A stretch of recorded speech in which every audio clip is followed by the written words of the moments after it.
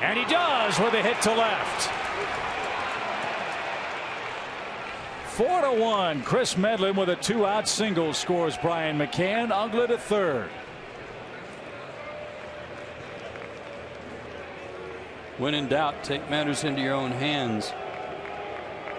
Second RBI of the year for Kris and had Brown not been playing him so shallow in left field, it would have scored two.